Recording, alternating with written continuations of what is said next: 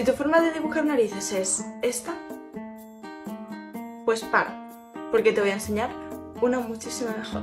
Solo tienes que empezar a dibujar con esta forma.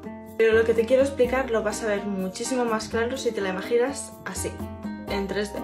Después de dibujar esta forma, solo tienes que dibujar el largo para ver la dirección en la que está yendo, el ancho para ver es muy ancha, muy estrechita y la punta de la nariz.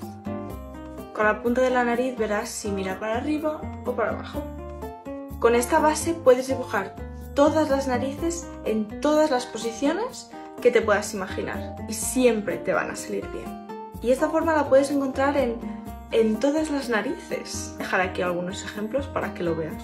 Que está en todos lados. Siempre vas a encontrar esa forma. Mira, si te fijas bien, en todas las narices sale esta forma. Sale en todas las narices. Está un poco más deformada, un poco más ancha, pero ahí está. Y aquí el nombre es... Sale en todos lados. Más de lado. Vuelve a salir. Nos un poco más, pero está. incluso en expresiones raras como esta.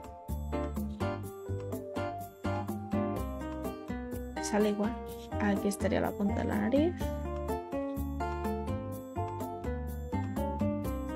Está en todos lados. Y también.